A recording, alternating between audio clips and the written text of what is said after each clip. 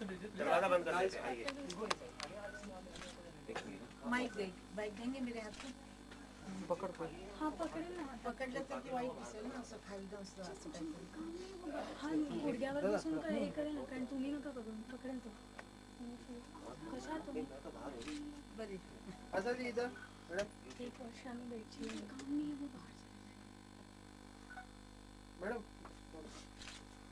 Photo अभी अभी ये बात करनी है ना। हा हा चल। त्याच्यासाठी त्याच्यासाठी हवाय काही.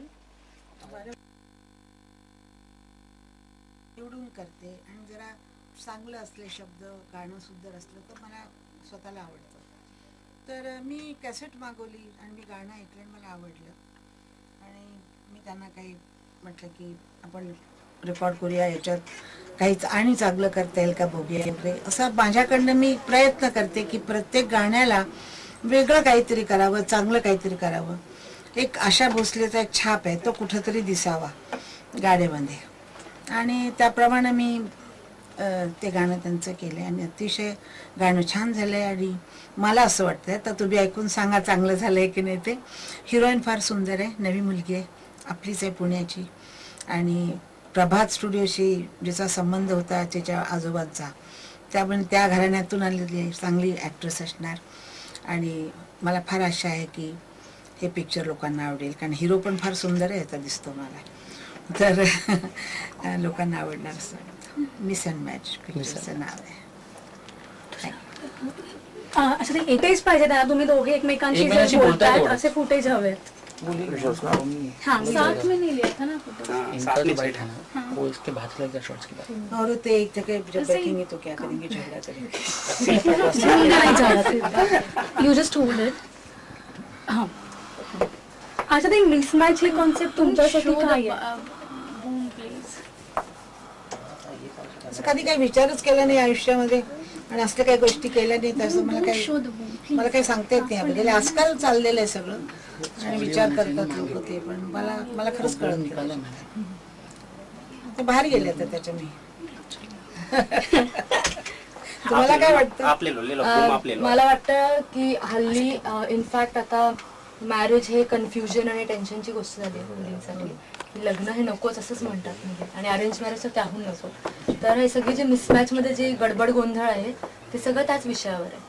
की ते मुलीला अरेंज मॅरेज करायचं नाही तिला लग्न तर करायचं आहे पण तिला अरेंज मॅरेज करायचं नाही आणि तिच्या डोक्यात एक स्पेसिफिक आयडिया आहे तिला तशाच मुलाशी लग्न करायचं आहे आणि तो तिला अजून भेटलेलं नाही मला असं वाटतं की जे पहिल्यांदा लग्न होत होती आणि ती शेवटपर्यंत टिकत टिकत होती होती. त्यानंतर जे हे सुरुवात झालं ही लग्न फार लवकर तुटायला पड लागली. तर मला असं वाटतं की म्हणजे मला लोक एखाद वेळा लोकांना आवडणार नाही पण मुलीचं बुद्धी इतकी परिपक्व होऊन ज्यावेळेला ती लग्न करणार त्यावेळेला भांडणं होणार.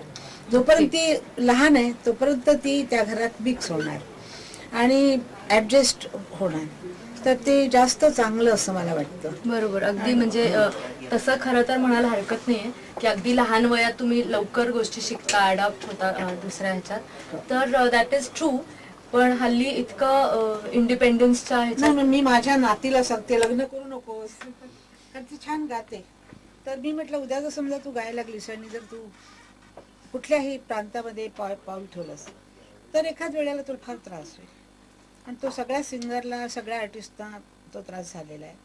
आणि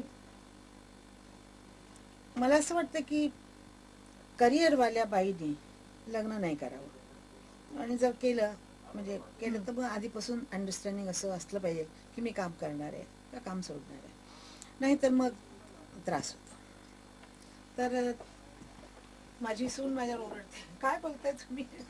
म्हटलं अगं जी गाणारी झाली उद्या. तिला जर समोरच्या माणसाने नाही म्हटलं किंवा काय तर तिला खूप यातं ना तिला गोष्टीच्या. किंवा काही आणि त्रास असला. तर मला असं वाटतं की प्रत्येक मुलीने आपली सिच्युएशन बघावी की लग्न करायचं माझं करिअर आहे मला करिअर हवं की मला मुलं हवी का मला हे हे सगळं अतिशय विचार करून त्या बाईनं पाय उचलावा. बरोबर अगदी. झालं तुझं समाधान?